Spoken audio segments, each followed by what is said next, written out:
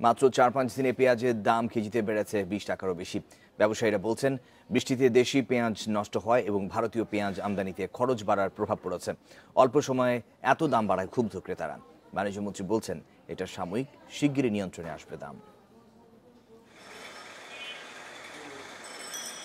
গত দুই তিন মাস এক কেজি পেঁয়াজের দাম ছিল পঁচিশ থেকে তিরিশ টাকার মধ্যে। হঠাৎ এই দাম হয়ে গেছে দ্বিগুণ।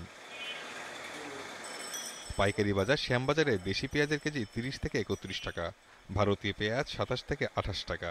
খুচরা বাজারে এক কেজি দেশি পেঁয়াজ বিক্রি হচ্ছে পঞ্চান্ন টাকা পর্যন্ত। সমস্যা তো হবে কারণ আমরা এখন রিটায়ারমেন্টে চলে আসছি। আমাদের সীমিত টাকা দিয়ে চলতে তো এখন করতে যাবে। আবার গ্যাসের দামও সরকার বাড়াই দিয়েছে। গভর্নমেন্টের ব্যবস্থা দেওয়া উচিত বাণিজ্য মন্ত্রণালয়ের কর হস্তে দেওয়া উচিত যে অসাধু ব্যবসায়ী এগুলো কেন করছে? চট্টগ্রামে পেঁয়াজের দাম বাড়ার পেছনে সরবরাহ কমের কথা বলছেন ব্যবসায়ীরা। যখন আমাদের পিএইচটা বাংলাদেশে উঠবে তখন ইন্ডিয়া দাম কমাই দেয়। তখন আমাদের কৃষকের মার খেয়ে যায় তখন আর পিএইচ করার আগ্রহ হারায় যায় টিসিবির হিসেবে গত এক মাসে পেঁয়াজের দাম বেড়েছে চৌষট্টি ভাগ। এজন্য দেশি ফলন নষ্ট আর বাড়তি আমদানি খরচে যুক্তি দিচ্ছেন আমদানিকারকরা। বৃষ্টি হওয়াতে পেঁয়াজটা মাইখানে ওই আহ, এই চাঙে কেউ রাখতে পারতেছে না। হঠাৎ করে পেঁয়াজ শর্ট হয়ে গেছে।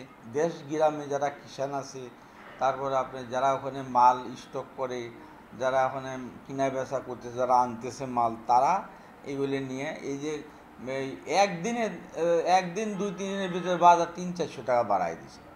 আর বাণিজ্যমন্ত্রী বলছেন ভারতের বাজারে দাম ওঠানামা করার প্রভাব এটি। শীঘ্রই দাম স্বাভাবিক হয়ে যাবে। ভেরি রিসেন্টলি ইন্ডিয়া তাদের দেশের কিছু ন্যাচারাল ক্লাইমেটিক সমস্যা এইসবের কারণে তারা ওইটাকে স্লো করার জন্য পেঁয়াজটা জেনে তারা তাদের উপরে ই বসিয়ে দিয়েছে। সো দ্যাট ওইটা বেড়ে গেছে দাম। তবে একটু অবস্থা ইমপ্রুভ করলে পরে তো সেটা স্বাভাবিক হয়ে যাবে বলে মনে করি।